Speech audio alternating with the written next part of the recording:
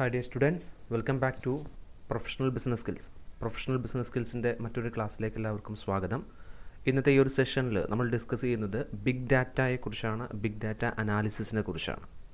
എന്താണ് big data big data refers to the large volume of data both structured and unstructured it is in the form of text audio video images extra big data എന്നുള്ളതുകൊണ്ട് ഉദ്ദേശിക്കുന്ന volume large volume of data വലിയൊരു എമൗണ്ടിൽ നമുക്ക് data ഉണ്ട് എങ്കിൽ അതിനെയാണ് നമ്മൾ big data എന്ന് പറയുന്നത്. അത് സ്ട്രക്ചേർഡ് ആയിരിക്കാം അൺസ്ട്രക്ചേർഡ് ആയിരിക്കാം. അതുപോലെ തന്നെ ടെക്സ്റ്റ് ഫോർമാറ്റിലുള്ളതാവാം ഓഡിയോ ഫോർമാറ്റിലാവാം വീഡിയോ ഫോർമാറ്റിലാവാം ഇങ്ങനെ ഡിഫറെന്റ് ആയിട്ടുള്ള ഫോർമാറ്റിൽ വലിയൊരു എമൗണ്ട് ഓഫ് ഡാറ്റ നമ്മുടെ അടുത്തുണ്ടെങ്കിൽ അതിനെയാണ് നമ്മൾ ബിഗ് ഡാറ്റ എന്ന് പറയുന്നത്. Big data refers to complex and large data sets that have to be processed and analysed to uncover valuable information that can benefit business and organisation ബിസിനസ്സിനും ഓർഗനൈസേഷനും ഒക്കെ beneficial ആയിട്ടുള്ള valuable informations uncover ചെയ്യാൻ പറ്റുന്ന valuable ആയിട്ടുള്ള informations കണ്ടെത്താൻ സാധിക്കുന്ന അത്തരത്തിലുള്ള വലിയ ഒരു ലാർജ് ഡാറ്റ സെറ്റ്സിനെയാണ് കോംപ്ലക്സ് ആയിട്ടുള്ള ഡാറ്റ സെറ്റുകളെയാണ് ബിഗ് ഡാറ്റ എന്ന് പറയുന്നത്. ബിഗ് ഡാറ്റ എന്ന് പറഞ്ഞാൽ ലാർജ് എമൗണ്ട് ഓഫ് ഡാറ്റയാണ് കോംപ്ലക്സ് ആണ്. ഈ ഡാറ്റ സെറ്റ്സുകൾ നമ്മൾ അനലൈസ് ചെയ്ത് കഴിഞ്ഞാൽ നമുക്ക് നമ്മുടെ ഓർഗനൈസേഷന് വളരെ ബെനഫിഷ്യൽ ആയിട്ടുള്ള വാല്യുബിൾ ആയിട്ടുള്ള ഇൻഫർമേഷൻസ് കണ്ടെത്താൻ സാധിക്കും എന്നുള്ളതാണ്. Then now we are in the age of big data which is produced by computers and the other forms of technology. നമ്മൾ ഇപ്പോൾ ഉള്ളത് വലിയ ഒരു ഒരു ഏജ് ഓഫ് ബിഗ് ഡാറ്റ എന്ന് പറയുന്ന ആ ഒരു ഏജിലാണ് നമ്മളുള്ളത്. അതായത് നമ്മൾ ഇപ്പോൾ ബിസിനസ് ഓർഗനൈസേഷനിലെല്ലാം കമ്പ്യൂട്ടറുകളും ടെക്നോളജികളും എല്ലാം ഉപയോഗിച്ചിട്ട് പ്രൊഡ്യൂസ് ചെയ്യപ്പെടുന്ന വലിയ എമൗണ്ട് ഓഫ് ഡാറ്റകളുണ്ട് ആ ഡാറ്റകളാണ് ഇന്ന് നമ്മൾ എന്ത് ചെയ്യുന്നത്? ബിസിനസ്സിന്റെ ഡിസിഷൻ മേക്കിങ്ങിനും മറ്റും വേണ്ടിയിട്ട് ഉപയോഗിക്കുന്നത്. Business government health care providers financial institutions, academic institutions, etc. are now utilizing the power of big data. ഇപ്പോൾ നമുക്കറിയാം ബിസിനസ്സിലും അതുപോലെ തന്നെ ഗവൺമെന്റ് സെക്ടറിലും ഹെൽത്ത് കെയർ സെക്ടറിലും ഫിനാൻഷ്യൽ ഇൻസ്റ്റിറ്റ്യൂഷൻസും അക്കാഡമിക് ഇൻസ്റ്റിറ്റ്യൂഷൻസും എല്ലാം ഈ ഒരു ബിഗ് ഡാറ്റയുടെ പവർ ഉപയോഗിക്കുന്നുണ്ട് എന്നുള്ളതാണ് അപ്പോൾ ബിഗ് ഡാറ്റ എന്ന് പറയുന്നത് വലിയൊരു എമൗണ്ട് ഓഫ് ഡാറ്റയാണ് ലാർജ് വോളിയം ഓഫ് ഡാറ്റയാണ് അതുപോലെ തന്നെ കോംപ്ലക്സ് ആയിട്ടുള്ള ഡാറ്റയാണ് ഈ ഡാറ്റ സെറ്റുകളിൽ നിന്ന് നമുക്ക് നമ്മുടെ ഓർഗനൈസേഷന് ഡിസിഷൻ മേക്കിങ്ങിന് ആവശ്യമായിട്ടുള്ള ഓർഗനൈസേഷന് ബെനിഫിഷ്യൽ ആയിട്ടുള്ള വാല്യുബിൾ ആയിട്ടുള്ള ഇൻഫർമേഷൻസ് കണ്ടെത്താൻ സാധിക്കുമെന്നുള്ളതാണ് പറയുന്നത്. Next big data analysis big data analysis is the process of analysing big data big ഡാറ്റയെ അനലൈസ് ചെയ്യുന്ന പ്രോസസ്സിനെയാണ് നമ്മൾ എന്ത് പറയുന്നത്? ബിഗ് ഡാറ്റ അനാലിസിസ് എന്ന് പറയുന്നത്. It is the process of examining large amount of data to uncover informations that's hidden patterns correlations market trends customer preferences etcetera for managerial decision അത് big data analysis എന്ന് പറയുന്നത് എന്താണ്? ആ large amount of ഡാറ്റയെ നമുക്ക് ആവശ്യമുള്ള informations കണ്ടെത്താൻ വേണ്ടി ഉപയോഗിക്കുന്ന ആ ഒരു പ്രോസസ്സിനെയാണ് നമ്മൾ ബിഗ് ഡാറ്റ അനാലിസിസ് എന്ന് പറയുന്നത്. നമ്മുടെ അടുത്ത് ലാർജ് എമൗണ്ട് ഓഫ് ഡാറ്റയുണ്ട് ആ ലാർജ് എമൗണ്ട് ഓഫ് ഡാറ്റയെ എക്സാമിൻ ചെയ്യുന്ന പ്രോസസ്സിനെയാണ് നമ്മൾ എന്ത് പറയുന്നത്? ബിഗ് ഡാറ്റ അനാലിസിസ് എന്ന് പറയുന്നത്. അപ്പോൾ ഇത്തരത്തിൽ ഈ അനാലിസിസ് നടന്നു കഴിയുമ്പോൾ നമുക്ക് കിട്ടുന്ന റിസൾട്ടുകൾ എന്തായിരിക്കാം? ഒന്നുകിൽ നമ്മുടെ ഹിഡൻ പാറ്റേൺസ് നമുക്ക് കണ്ടെത്താൻ സാധിക്കും എന്നുള്ളതാണ്. അതുപോലെ തന്നെ കോറിലേഷൻസ് കണ്ടെത്താൻ സാധിക്കുക. മാർക്കറ്റിലെ ട്രെൻഡുകളെ മനസ്സിലാക്കാൻ സാധിക്കുക. കസ്റ്റമേഴ്സിന്റെ ടേസ്റ്റും പ്രിഫറൻസുകളൊക്കെ മനസ്സിലാക്കാൻ സാധിക്കുക. ഇതെല്ലാം ഉപയോഗിച്ചിട്ട് നമ്മുടെ ഓർഗനൈസേഷന്റെ മാനേജീരിയൽ ഡിസിഷൻസ് നമുക്ക് എന്ത് ചെയ്യാം എഫക്റ്റീവ് ആക്കാവുന്നതാണ്. അപ്പോൾ മാനേജറൽ ഡിസിഷൻസിന് ആവശ്യമായിട്ടുള്ള വാല്യുബിൾ ആയിട്ടുള്ള ഇൻഫർമേഷൻസിനെ അൺകവർ ചെയ്യുക എന്നുള്ള പ്രോസസ്സാണ് ബിഗ് ഡാറ്റ അനാലിസിസ് എന്ന് പറയുന്നത്. Then big data cannot be processed or analyzed using conventional data processing technique. സാധാരണഗതിയിലുള്ള കൺവെൻഷണൽ ഡാറ്റ ടെക്നിക്സുകൾ ഉപയോഗിച്ചിട്ട് ഒരിക്കലും നമുക്ക് ബിഗ് ഡാറ്റ അനാലിസിസ് കണ്ടക്ട് ചെയ്യാൻ സാധിക്കുന്നതല്ല. അവിടെ നമുക്ക് സ്പെഷ്യൽ ആയിട്ടുള്ള ടെക്നിക്സുകൾ അതായത് അഡ്വാൻസ്ഡ് ആയിട്ടുള്ള അനലിറ്റിക് ടെക്നിക്സുകളാണ് നമ്മളിവിടെ ബിഗ് ഡാറ്റ അനലിറ്റിക്സിന് വേണ്ടിയിട്ട് ഉപയോഗിക്കുന്നത്. Then extract transform and load E T L is the process of preparing data for analysis ഇത്തരത്തിൽ ബിഗ് ഡാറ്റ അനാലിസിസിന് വേണ്ടിയിട്ടുള്ള ഉപയോഗിക്കുന്ന ഒരു പ്രോസസ്സാണ് എന്ന് പറയുന്നത് എക്സ്ട്രാക്ട് ട്രാൻസ്ഫോം ആൻഡ് ലോഡ് എന്ന് പറഞ്ഞാൽ അപ്പോൾ ഇത്തരത്തിലുള്ള ടെക്നിക്സുകൾ അനലിറ്റിക് ടെക്നിക്സുകളും ഇത്തരത്തിലുള്ള പ്രോസസ്സുകളും ഉപയോഗിച്ചിട്ടാണ് ബിഗ് ഡാറ്റ അനാലിസിസ് കണ്ടക്ട് ചെയ്യുന്നത്. Then next types of big data പ്രധാനമായിട്ടും മൂന്ന് ടൈപ്പിലാണ് ബിഗ് ഡാറ്റ വരുന്നത്. അതിൽ ഫസ്റ്റ് വൺ പറയുന്ന സ്ട്രക്ചേർഡ് ഡാറ്റയാണ് it is the data in organised form വളരെ ഓർഗനൈസ്ഡ് ആയിട്ടുള്ള സ്ട്രക്ചേർഡ് ആയിട്ടുള്ള ഒരു ഫോർമാറ്റിലാണ് ഉള്ള ഡാറ്റകളെയാണ് നമ്മളിവിടെ എന്ത് ചെയ്യുന്നത്? ഈ ഫസ്റ്റ് ടൈപ്പ് കൊണ്ട് ഉദ്ദേശിക്കുന്നത്. ഓർഗനൈസ്ഡ് ആയിരിക്കും എന്നുള്ളതാണ്. Then it is the data that can be processed and stored in a fixed format രണ്ടാമത്തതിന്റെ പ്രത്യേകതയായിട്ട് പറയുന്നത് ഒരു ഫിക്സ്ഡ് ആയിട്ടുള്ള ഫോർമാറ്റിൽ പ്രോസസ്സ് ചെയ്തിട്ടുണ്ട് അല്ലെങ്കിൽ നമ്മളത് ഫിക്സ്ഡ് ആയിട്ടുള്ള ഫോർമാറ്റിൽ സ്റ്റോർ ചെയ്യപ്പെട്ടിട്ടുണ്ട് എന്നുള്ളതാണ്. ദെൻ അതിന്റെ എക്സാമ്പിൾ പറയുന്നുണ്ട് employee information in a company database textual data അതായത് ഒരു ഓർഗനൈസേഷന്റെ അതിന്റെ ഡാറ്റാ ബേസിൽ സ്റ്റോർ ചെയ്തിട്ടുള്ള അവിടുത്തെ എംപ്ലോയീസിന്റെ ഇൻഫർമേഷൻ എന്ന് പറയുന്നത് എന്താണ്? സ്ട്രക്ചേർഡ് ആണ്. ഏതൊരു ഓർഗനൈസേഷന്റെയും എംപ്ലോയീസിന്റെ ഡീറ്റെയിൽസ് എടുത്ത് നോക്കിയാൽ നമുക്ക് മനസ്സിലാക്കാൻ സാധിക്കുന്ന ഒരു കാര്യമാണ്. അത് കൃത്യമായിട്ടുള്ളൊരു ഓർഗനൈസ്ഡ് ഫോർമാറ്റിലായിരിക്കും അത് സെറ്റ് ചെയ്തിട്ടുണ്ടാവുക. അതുപോലെ തന്നെ ഒരു ഒരു ഫിക്സഡ് ആയിട്ടുള്ള ഫോർമാറ്റിലാണ് അത് സെറ്റ് ചെയ്തിട്ടുണ്ടായിരിക്കുക. അതായത് ഓരോ എംപ്ലോയീസ് ഇപ്പോൾ നൂറ് എംപ്ലോയീസിന്റെ ഓർഗനൈസേഷൻ വർക്ക് ചെയ്യുന്നുണ്ടെങ്കിൽ ഈ നൂറ് എംപ്ലോയീസിന്റെയും നെയിം നൂറ് എംപ്ലോയീസിന്റെയും അഡ്രസ്സ് അതുപോലെ തന്നെ അവരുടെയൊക്കെ പിന്നെ ഡെസിഗ്നേഷൻസ് ഓർഗനൈസേഷനിൽ അവരുടെയൊക്കെ പൊസിഷൻസ് അവരുടെയൊക്കെ എഡ്യൂക്കേഷൻ ക്വാളിഫിക്കേഷൻസ് അവരുടെ എക്സ്പീരിയൻസ് ഇങ്ങനെ തുടങ്ങിയിട്ടുള്ള ഒരുപാട് കാര്യങ്ങൾ എന്ത് ചെയ്തിട്ടുണ്ട്? ഒരു ഫിക്സഡ് ആയിട്ടുള്ള ഫോർമാറ്റിൽ അവരവിടെ സ്റ്റോർ ചെയ്ത് വെച്ചിട്ടുണ്ടായിരിക്കും. അപ്പോൾ ഇത്തരത്തിലുള്ള ഡാറ്റയാണ് നമ്മൾ എന്ത് പറയുന്നത്? സ്ട്രക്ചേർഡ് ഡാറ്റ എന്ന് പറയുന്നത്. ഓർഗനൈസ്ഡ് ആയിട്ടുള്ള ഫോർമാറ്റിൽ അതുപോലെ തന്നെ ഫിക്സഡ് ആയിട്ടുള്ള ഒരു ഫോർമാറ്റിൽ ഡാറ്റ സ്റ്റോർ ചെയ്യുന്നുണ്ടെങ്കിൽ അതിനെയാണ് നമ്മൾ സ്ട്രക്ചേർഡ് ഡാറ്റ എന്ന് പറയുന്നത്. രണ്ടാമത്തെ ടൈപ്പ് എന്ന് പറയുന്നത് അൺസ്ട്രക്ചേർഡ് ഡാറ്റയാണ്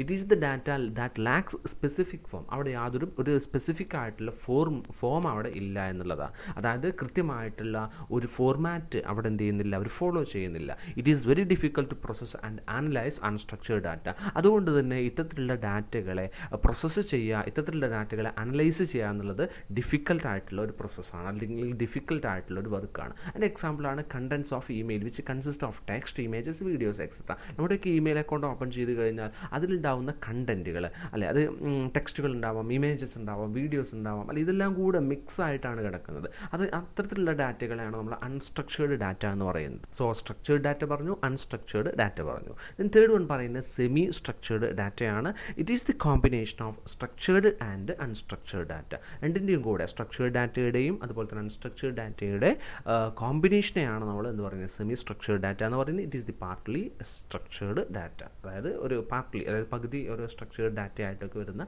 രീതിയിലുള്ള ഡാറ്റകളെയാണ് നമ്മൾ സെമി സ്ട്രക്ചേർഡ് ഡാറ്റ എന്ന് പറയുന്നത്. These are the types of big data next four dimensions of big data big ഡാറ്റയുടെ നാല് ഡയമെൻഷൻസിനെ കുറിച്ചാണ് പറയുന്നത് അല്ലെങ്കിൽ നാല് വീസ് പറയുന്നുണ്ട്. ഓക്കെ അതിൽ ഫസ്റ്റ് വി എന്ന് പറയുന്നത് ഏതാണ്? വോള്യമാണ് okay first dimension is volume. Volume എന്ന് പറഞ്ഞാൽ എന്താണ്? It refers to the quantity of data എത്രമാത്രം ഡാറ്റ ഉണ്ട് എന്നുള്ളതാണ് ബിഗ് ഡാറ്റയുടെ ഒന്നാമത്തെ ഡയമെൻഷനായിട്ടുള്ള വോളിയം എന്നുണ്ടോ എന്നുള്ളതുകൊണ്ട് ഉദ്ദേശിക്കുന്നത്. Volume may be measured in terms of bytes kilobytes megabytes gigabytes terabyte petabyte exabyte zettabyte and yottabyte നമ്മൾ പിന്നെ മുമ്പേ പറഞ്ഞിട്ടുള്ള കാര്യങ്ങളാണ് ഇതെല്ലാം അല്ലേ? അതായത് വോളിയം എന്ന് പറയുന്നത് ക്വാണ്ടിറ്റി ഓഫ് ഡാറ്റയാണ് ആ ക്വാണ്ടിറ്റി മെഷർ ചെയ്യുന്നത് വോളിയം മെഷർ ചെയ്യുന്നത് ഏത് രീതിയിലായിരിക്കാം ബൈറ്റ്സുകൾ അല്ലെ എത്ര ബൈറ്റ് ഉണ്ട് അല്ലെങ്കിൽ എത്ര കെ ബി ഉണ്ട് എത്ര എം ബി ഉണ്ട് എത്ര ജി ബി ഉണ്ട് ഇതിന്റെ ബേസ് ഈ ഒരു മെഷർമെന്റ് ഉപയോഗിച്ചിട്ടാണ് നമ്മൾ എന്ത് ചെയ്യുന്നത്? ഡാറ്റയുടെ വോളിയം നമ്മൾ മെഷർ ചെയ്യുന്നത്. രണ്ടാമത്തെ ഡയമെൻഷൻ എന്ന് പറയുന്നത് വെറൈറ്റിയാണ് വെറൈറ്റി എന്നുകൊണ്ട് ഉദ്ദേശിക്കുന്നത് it refers to the diversified type of data and source of data ഏതെല്ലാം ടൈപ്പിലുള്ള ഡാറ്റകൾ നമ്മുടെ അടുത്തുണ്ട്. അല്ലെങ്കിൽ ഏതെല്ലാം സോഴ്സുകളിൽ നിന്നുള്ള ഡാറ്റകളുണ്ട് അല്ലെ ഡിഫറെന്റ് ആയിട്ടുള്ള ടൈപ്പിൽ ഡാറ്റ ഉണ്ട് ഡിഫറെന്റ് ആയിട്ടുള്ള സോഴ്സുകളിൽ നിന്നുള്ള ഡാറ്റ ഉണ്ട്. അപ്പോൾ ഈ ആ ടൈപ്പിനെയാണ് അല്ലെങ്കിൽ ആ സോഴ്സിനെയാണ് ഇവിടെ വെറൈറ്റി എന്നുള്ളതുകൊണ്ട് ഉദ്ദേശിക്കുന്നത്. അതുകൊണ്ട് തന്നെ it consist of structured semi structured and unstructured data നമ്മൾ നേരത്തെ പറഞ്ഞു അല്ലെ സ്ട്രക്ചേർഡ് ആയിരിക്കാം സെമി സ്ട്രക്ചേർഡ് ആയിരിക്കാം അൺസ്ട്രക്ചേർഡ് ആയിരിക്കാം അല്ലെങ്കിൽ ഇങ്ങനെയുള്ളതായിരിക്കാം. അതുപോലെ തന്നെ ഇത് കളക്ട് ചെയ്യുന്ന ഒന്നുകിൽ ഇന്റേർണൽ സോഴ്സ് നിന്നായിരിക്കാം എക്സ്റ്റേണൽ സോഴ്സ് ആയിരിക്കാം ഡയറക്റ്റ് ആയിരിക്കാം ഇൻഡയറക്റ്റ് ആയിരിക്കാം പബ്ലിഷ്ഡ് ആയിരിക്കാം അൺപബ്ലിഷ്ഡ് ആയിരിക്കാം അല്ലെ ഇത്തരത്തിലുള്ള സോഴ്സുകളിൽ നിന്നെല്ലാം ഈ ഡാറ്റകൾ നമ്മൾ കളക്ട് ചെയ്യുന്നതും ഉണ്ടാവാം. ഓക്കെ അപ്പോൾ ഇത് വെറൈറ്റി എന്നുള്ളതുകൊണ്ട് ഉദ്ദേശിക്കുന്നത് ഡിഫറെന്റ് ആയിട്ടുള്ള ടൈപ്പിലുള്ള ഡാറ്റ ഉണ്ട് ഡിഫറെന്റ് ആയിട്ടുള്ള സോഴ്സുകളിൽ നിന്ന് ഡാറ്റ വരുന്നുണ്ട്. ദെൻ മൂന്നാമതായിട്ട് പറയുന്നത് വെറാസിറ്റിയാണ് വെറാസിറ്റി എന്നുള്ള ഉദ്ദേശിക്കുന്നത് it refers to the biases errors and abnormalities in the data ഡാറ്റയിൽ ഒരുപാട് അബ്നോർമാലിറ്റീസ് ഉണ്ടാവാനുള്ള സാധ്യതയുണ്ട്. എറേഴ്സ് ഉണ്ടാവാനുള്ള സാധ്യതയുണ്ട്. ബയാസസ് ഉണ്ടാവാനുള്ള സാധ്യതയുണ്ട്. അല്ലെ? ഇത്തരത്തിലുള്ള ബയാസുകളെയും എറേഴ്സിനെയാണ് നമ്മൾ എന്ത് പറയുന്നത്? വെറാസിറ്റി എന്നുള്ളതുകൊണ്ട് ഉദ്ദേശിക്കുന്നത്. അപ്പോൾ ഇത്തരത്തിൽ വെറാസിറ്റി വരാതിരിക്കാൻ നമ്മൾ ശ്രമിക്കേണ്ടതുണ്ട്. അതിനു വേണ്ടിയിട്ട് നമ്മൾ അനാലിസിസിലേക്ക് പോകുന്നതിന് മുമ്പായിട്ട് നമ്മുടെ ഡാറ്റ സെറ്റുകളെ നമ്മൾ ക്ലീൻ ചെയ്യേണ്ടതുണ്ട് എന്നുള്ളതാണ്. ഓക്കെ അതാണ് വെറാസിറ്റി എന്നുള്ളതുകൊണ്ട് ഉദ്ദേശിക്കുന്നത്. ഉദ്ദേശിക്കുന്നത്. ദെൻ ഫോർത്ത് വൺ വെലോസിറ്റി ആണ്. വെലോസിറ്റി എന്ന് ഉദ്ദേശിക്കുന്നത് സ്പീഡാണ് it refers to the speed with which data is generated from various sources നമ്മൾ ഡിഫറെന്റ് ആയിട്ടുള്ള സോഴ്സുകളിൽ നിന്നും ഡാറ്റ ജനറേറ്റ് ചെയ്യുന്നുണ്ട്. ആ ജനറേറ്റ് ചെയ്യുന്ന സ്പീഡിനെയാണ് ജനറേറ്റ് ചെയ്യാൻ എടുക്കുന്ന ആ ഒരു എത്രമാത്രം ഫാസ്റ്റായിട്ടാണ് ജനറേറ്റ് ചെയ്യുന്നത് എന്നുള്ളതാണ് വെലോസിറ്റി എന്നുള്ള ഉദ്ദേശിക്കുന്നത്. കാരണം റൈറ്റ് ടൈമിൽ റൈറ്റ് ഡാറ്റ കിട്ടിയാലാണ് നമുക്ക് റൈറ്റ് ഡിസിഷൻസ് എടുക്കാൻ കഴിയുള്ളൂ. അപ്പോൾ അത്തരത്തിലുള്ള ടൈമിലി ഡിസിഷൻ ടേക്കിങ്ങിന് ആവശ്യമാണ് ഈ ഒരു വെലോസിറ്റി എന്ന് പറയുന്ന ഈ ഒരു dimension okay the real time data helps business firm for taking timely decisions അപ്പോൾ റിയൽ ടൈമിൽ ഡാറ്റ കിട്ടുക എന്നുള്ളതാണ് അപ്പോഴും മാത്രമാണ് നമുക്ക് എന്ത് ചെയ്യാൻ കഴിയുള്ളൂ. ഒരു ടൈംലി ഡിസിഷൻസ് നമുക്ക് എടുക്കാൻ സാധിക്കുള്ളൂ എന്നുള്ളതാണ്. വെലോസിറ്റി എന്നുകൊണ്ട് ഉദ്ദേശിക്കുന്നത് സ്പീഡ് ഓഫ് ജനറേഷനാണ് അതായത് ജനറേറ്റിംഗ് സ്പീഡാണ് അതായത് നമ്മൾ ഡിഫറെന്റ് ആയിട്ടുള്ള സോഴ്സുകളിൽ നിന്നും ഡാറ്റ ജനറേറ്റ് ചെയ്യുന്ന ആ ഡാറ്റ അതിന് അതിന് സ്പീഡിനെയാണ് നമ്മൾ വെലോസിറ്റി എന്നുള്ളതുകൊണ്ട് ഉദ്ദേശിക്കുന്നത്. uh, the next uh, advantages of big data. First one improved business process and productivity big data helps to improve the operational efficiency of the firm continuously with minimum cost and effort. Minimum cost കൊണ്ട് അതുപോലെ തന്നെ minimum effort കൊണ്ട് നമ്മുടെ ഓർഗനൈസേഷന്റെ ആ ഒരു പ്രൊഡക്ടിവിറ്റിയും ഓർഗനൈസേഷന്റെ പ്രോസസ്സുകളെയൊക്കെ improve ചെയ്യാൻ സാധിക്കുന്നു എന്നുള്ളതാണ് ബിഗ് ഡാറ്റയിൽ ഒന്നാമത്തെ അഡ്വാന്റേജ് ആയിട്ട് പറയുന്നത്. Second one greater innovation big data analysis helps the business to introduce new technologies and products നമ്മുടെ ഓർഗനൈസേഷനിൽ പുതിയ ടെക്നോളജീസും പുതിയ പ്രൊഡക്റ്റുകളൊക്കെ ഇൻട്രൊഡ്യൂസ് ചെയ്യാൻ ബിഗ് ഡാറ്റ അനാലിസിസിലൂടെ സാധിക്കുന്നു എന്നുള്ളതാണ് രണ്ടാമത്തെ ഒരു അഡ്വാന്റേജ് ആയിട്ട് പറയുന്നത്. Then third one cost reduction the initial cost of big data analysis is high but it is useful to reduce the cost in the long run നമ്മൾ ഷോർട്ട് ടേമിലേക്ക് നോക്കുകയാണെന്നുണ്ടെങ്കിൽ ഇനീഷ്യൽ കോസ്റ്റ് വരുന്നുണ്ട്. അതായത് ഇനീഷ്യൽ കോസ്റ്റ് ബിഗ് ഡാറ്റ അനാലിസിസിന് കൂടുതലാണ് എങ്കിൽ പോലും നമ്മൾ ലോങ് റണ്ണിലേക്ക് നോക്കുകയാണെന്നുണ്ടെങ്കിൽ എന്താണ്? ഇത് നമുക്ക് ഇതിൽ നിന്ന് ഒരുപാട് ബെനിഫിറ്റുകൾ നമുക്ക് കിട്ടുന്നുണ്ട്. അതുകൊണ്ട് ഇതിന്റെ കോസ്റ്റ് എന്ത് ചെയ്യും? റെഡ്യൂസ് ചെയ്യുന്നതായിട്ട് നമുക്ക് കാണാൻ കഴിയും. അതായത് അതിന്റെ യൂസ്ഫുൾനെസ് അത്രയും അതായത് അതിന്റെ ബെനഫിറ്റ് അത്രയും വലുതാണ് എന്നുള്ളതാണ് ആ കോസ്റ്റ് റിഡക്ഷൻ എന്നുള്ളതുകൊണ്ട് ഉദ്ദേശിക്കുന്നത്. കോസ്റ്റ് റെഡ്യൂസ് ചെയ്യുന്നതായിട്ട് അല്ലെങ്കിൽ റെഡ്യൂസ് ചെയ്ത് വരുന്നതായിട്ട് നമുക്ക് കാണാൻ സാധിക്കും. അതാണ് മറ്റൊരു അഡ്വാന്റേജ് ആയിട്ട് പറയുന്നത്. ദെൻ ഫോർത്ത് വൺ പറയുന്നത് support decision making big data analysis എന്ത് ചെയ്യുന്നുണ്ട്? നമ്മുടെ ഓർഗനൈസേഷനിൽ മാനേജ്മെന്റ് ലെവലിലുള്ള ഡിസിഷൻസ് നമ്മൾ നേരത്തെ പറഞ്ഞാണ് മാനേജീരിയൽ ഡിസിഷൻസിന് ആവശ്യമായിട്ടുള്ള ഇൻഫർമേഷൻസ് കണ്ടെത്താൻ സാധിക്കുന്നുണ്ട്. അപ്പോൾ മാനേജീരിയൽ ഡിസിഷൻസിനെ അല്ലെങ്കിൽ ഡിസിഷൻ മേക്കിങ്ങിനെ സപ്പോർട്ട് ചെയ്യുന്ന ഒന്നാണ് ബിഗ് ഡാറ്റ അനാലിസിസ് എന്ന് പറയുന്നത്. നെക്സ്റ്റ് പറയുന്നത് കോമ്പറ്റീറ്റീവ് അഡ്വാന്റേജ് നമ്മുടെ ഓർഗനൈസേഷൻ ഒരു കോമ്പറ്റീറ്റീവ് ആയിട്ടുള്ള ഒരു അഡ്വാന്റേജ് ക്രിയേറ്റ് ചെയ്യാൻ നമുക്ക് ഈ ബിഗ് ഡാറ്റ അനാലിസിസിലൂടെയും ബിഗ് ഡാറ്റയിലൂടെയും സാധിക്കുന്നു എന്നുള്ളതാണ്. If a company get early data relating to its rivals and their strategies the policies and strategies of the company can be well formulated to get a competitive advantage അപ്പോൾ നമ്മുടെ ഓർഗനൈസേഷന് ഒരു competitive Advantage create ചെയ്യാൻ അല്ലെങ്കിൽ അത്തരത്തിലൊരു competitive Advantage നമുക്ക് ലഭ്യമാകാൻ ഇത്തരത്തിലുള്ള big data അനാലിസിസിലൂടെ നമുക്ക് സാധിക്കുന്നു. എങ്ങനെ സാധിക്കുന്നു? ബിഗ് ഡാറ്റ അനാലിസിസിൽ നിന്നും നമ്മൾ കിട്ടുന്ന ഇൻഫർമേഷൻ ഉപയോഗിച്ചിട്ട് നല്ല സ്ട്രാറ്റജീസും നല്ല പോളിസീസും ഒക്കെ നമുക്ക് ബിൽഡ് ചെയ്തെടുക്കാൻ നല്ല സ്ട്രാറ്റജീസും നല്ല ഡിസിഷൻസും ഒക്കെ നമുക്ക് ക്രിയേറ്റ് ചെയ്യാൻ സാധിക്കുന്നു. അതിലൂടെ നമ്മുടെ ഓർഗനൈസേഷൻ മറ്റു ഓർഗനൈസേഷനിൽ നിന്നും ഡിഫറന്റ് ആകുന്നു. അങ്ങനെ നമുക്ക് നമുക്കൊരു കോമ്പറ്റേറ്റീവ് അഡ്വാന്റേജ് നേടിയെടുക്കാൻ ഈ ബിഗ് ഡാറ്റ അനാലിസിസിലൂടെ സാധിക്കുന്നു എന്നുള്ളതാണ് പറയുന്നത്. നെക്സ്റ്റ് അഡ്വാന്റേജ് പറയുന്നത് improved customer service big data helps to understand the customer needs and wants their and thereby to serve the customers better നമ്മുടെ ഓർഗനൈസേഷന്റെ കസ്റ്റമേഴ്സിനെ നല്ല രീതിയിൽ മനസ്സിലാക്കാനും അവരുടെ നീഡ്സും വാൺസും ഒക്കെ മനസ്സിലാക്കാൻ നമുക്ക് എന്ത് ചെയ്യുന്നുണ്ട്? ബിഗ് ഡാറ്റ അനാലിസിസിലൂടെ സാധിക്കുന്നുണ്ട്. മറ്റൊന്ന് പറയുന്നത് early detection of errors and frauds നമ്മൾ ബിഗ് ഡാറ്റ അനാലിസിസിൽ അതിന് മുമ്പായിട്ട് അല്ലെ നമ്മൾ നേരത്തെ പറഞ്ഞതാണ് അതിലെ എറേഴ്സിനെയും അതിലെ പിന്നെ പ്രോബ്ലംസിനെയും അതിലെ മിസ്റ്റേക്കുകളെ കണ്ടെത്തുന്നുണ്ട്. അപ്പോൾ അതുകൊണ്ട് തന്നെ നമുക്ക് എറേഴ്സിനെയും ഫ്രോഡ്സിനെയൊക്കെ വളരെ നേരത്തെ തന്നെ ഡിറ്റക്റ്റ് ചെയ്യാൻ നമ്മുടെ ഓർഗനൈസേഷനിലേക്ക് വരാൻ സാധ്യതയുള്ള ഫ്രോഡുകളെയും എറേഴ്സിനെയൊക്കെ നേരത്തെ തന്നെ ഡിറ്റക്റ്റ് ചെയ്യാൻ നമുക്ക് എന്ത് ചെയ്യുന്നുണ്ട്? ബിഗ് ഡാറ്റ അനാലിസിസിലൂടെ സാധിക്കുന്നുണ്ട്. അതിലൂടെ നമുക്ക് നമ്മുടെ ഓർഗനൈസേഷൻ ഉണ്ടാവാൻ സാധ്യതയുള്ള വലിയ ലോസുകളെ നമുക്ക് എന്ത് ചെയ്യാൻ കഴിയും? കൺട്രോൾ ചെയ്യാനും സാധിക്കും എന്നുള്ളതാണ് പറയുന്നത്. നെക്സ്റ്റ് പറയുന്നത് profitability and growth of business നമ്മുടെ ഓർഗനൈസേഷന്റെ പ്രോഫിറ്റബിലിറ്റി ഇമ്പ്രൂവ് ചെയ്യാനും അതുപോലെ തന്നെ നമ്മുടെ ഓർഗനൈസേഷന് ഗ്രോത്ത് കൊണ്ടുവരാനും നമുക്ക് ഈ ഒരു ബിഗ് ഡാറ്റ അനാലിസിസിലൂടെ സാധിക്കുന്നുണ്ട്. Operational efficiency smart decision better making marketing strategies improved customer services etcetera provided by big data analysis naturally results in higher profit and growth of business നമ്മൾ നേരത്തെ പറഞ്ഞ അഡ്വാന്റേജസ് അഡ്വാന്റേജസ് എല്ലാം നമുക്ക് കിട്ടുന്നുണ്ട്. നമ്മുടെ എഫിഷ്യൻസി ഇമ്പ്രൂവ് ചെയ്യുന്നുണ്ട്. നമുക്ക് നല്ല ഡിസിഷൻസ് എടുക്കാൻ കഴിയുന്നുണ്ട്. നല്ല സ്ട്രാറ്റജീസ് ബിൽഡ് ചെയ്ത് കൊണ്ടുവരാൻ കഴിയുന്നുണ്ട്. ഇംപ്ലിമെന്റ് ചെയ്യാൻ കഴിയുന്നുണ്ട്. കസ്റ്റമേഴ്സിനൊക്കെ നല്ല സർവീസ് പ്രൊവൈഡ് ചെയ്യാൻ കഴിയുന്നുണ്ട്. കസ്റ്റമേഴ്സിനെ അണ്ടർസ്റ്റാൻഡ് ചെയ്യാൻ കഴിയുന്നുണ്ട്.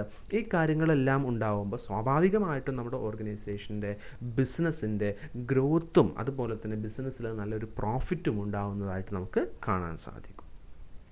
ഇതൊക്കെയാണ് ഇതിൽ പ്രധാനപ്പെട്ട അഡ്വാന്റേജസ് ആയിട്ട് പറയുന്നത്. നെക്സ്റ്റ് ഡിസഡ്വാന്റേജസ് അല്ലെങ്കിൽ ലിമിറ്റേഷൻസ് ആണ് പറയുന്നത്. അതിൽ ഫസ്റ്റ് വൺ പറയുന്ന ഹൈ കോസ്റ്റ് ഓഫ് ഇംപ്ലിമെന്റേഷൻ നമ്മൾ ഫസ്റ്റ് പറഞ്ഞത് തന്നെയാണ്. ഇംപ്ലിമെന്റേഷൻ കോസ്റ്റ് ഇനീഷ്യൽ കോസ്റ്റ് എന്ന് പറയുന്നത് വലിയൊരു എമൗണ്ട് വരുന്നുണ്ട് എന്നുള്ളതാണ് ഇതിന്റെ ഒന്നാമത്തെ ഡിസഡ്വാന്റേജ് ആയിട്ട് പറയുന്നത്. ദെൻ സെക്കൻഡ് വൺ പറയുന്നത് നീഡ്സ് ടെക്നിക്കൽ എക്സ്പെർട്ടൈസ് ഓർഗനൈസേഷനുള്ള ബിഗ് ഡാറ്റ അനാലിസിസ് കണ്ടക്ട് ചെയ്യണമെന്നുണ്ടെങ്കിൽ ടെക്നിക്കൽ എക്സ്പെർട്ടൈസ് ഉള്ള അല്ലെങ്കിൽ ടെക്നിക്കൽ എക്സ്പേർട്സുകളെ നമുക്ക് ആവശ്യം ആവശ്യമാണ് എന്നുള്ളതാണ് മറ്റൊരു ലിമിറ്റേഷനായിട്ട് പറയുന്നത്.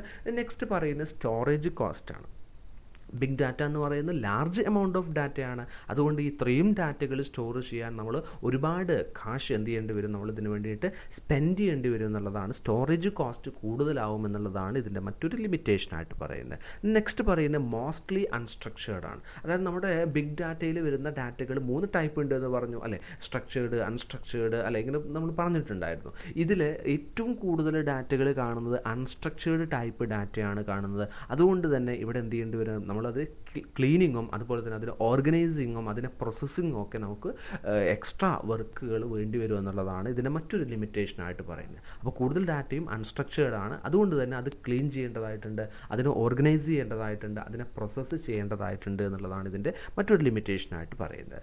നെക്സ്റ്റ് ലിമിറ്റേഷൻ ആയിട്ട് പറയുന്നത് ഡാറ്റ ക്വാളിറ്റി ഇഷ്യൂസ് ആണ്. More information also means more false and useless information the use of low quality data may yield negative result നമുക്കറിയാം ഒരുപാട് ഇൻഫർമേഷൻസ് അല്ലെങ്കിൽ ഒരുപാട് ഡാറ്റ വരുന്ന സമയത്ത് അവിടെ നമുക്ക് ആവശ്യമില്ലാത്ത ഒരുപാട് ഡാറ്റകളും അതിനകത്ത് ഉണ്ടാവാം അപ്പോൾ ഇതിൽ നിന്നും നമ്മുടെ ഡാറ്റകൾ കണ്ടെത്തുക എന്ന് പറയുന്നത് ഒരു റിസ്കി ആയിട്ടുള്ള ടാസ്ക്കാണ് നമുക്ക് ആവശ്യമുള്ള ഡാറ്റകൾ കണ്ടെത്തുക എന്നുള്ള റിസ്കി ആയിട്ടുള്ള ടാസ്ക്കാണ് അതോടൊപ്പം ലോ ക്വാളിറ്റി ഡാറ്റ നമ്മൾ യൂസ് ചെയ്യുന്നു എന്ന് പറഞ്ഞാൽ അത് നെഗറ്റീവ് റിസൾട്ട്സുകൾ ഉണ്ടാക്കുന്നു എന്നുള്ളതാണ്. ദ നെക്സ്റ്റ് ലിമിറ്റേഷൻ ആയിട്ട് പറയുന്നത് privacy and security it is very difficult to ensure that privacy and security of data used in big data analysis data should kept free from cyber attacks അതായത് privacy related ആയിട്ടുള്ള security related ആയിട്ടുള്ള issues ഒക്കെ ഉണ്ടാവാനുള്ള ഒരു സാധ്യതയുണ്ട് എന്നുള്ളതാണ് പറയുന്നത്. ഒരു ഒരു ഡിഫിക്കൽറ്റി ആയിട്ടുള്ള ഒരു പ്രോസസ്സാണ് നമ്മൾ ഈ ഒരു പ്രൈവസി സെറ്റ് ചെയ്യുക. അതുപോലെ തന്നെ ഈ ഇത്രയും ഡാറ്റകൾക്ക് നമ്മൾ സെക്യൂരിറ്റി പ്രൊവൈഡ് ചെയ്യുക എന്നുള്ളത്. ഓക്കെ അതൊരു ഒരു